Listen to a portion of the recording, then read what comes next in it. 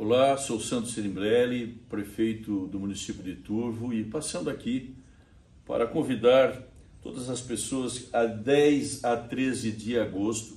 Nós teremos a 25ª edição da Festa do Colono e a 17ª Festa da Arrancada de Tratores.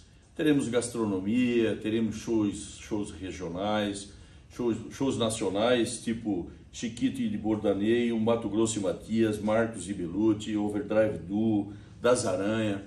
Sinta-se todos convidados e vamos lá comer uma polenta com galinha e vinho, que é uma comida típica italiana que é a origem da nossa população. Sinta-se convidados e conto com a presença de todos.